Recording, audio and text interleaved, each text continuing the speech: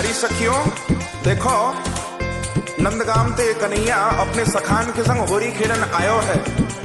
आज आपको अच्छी तरह मज़ा चखाई दो। ओ आयो नंदगाम ते होरी खेलन, नटवर नंद किशोर।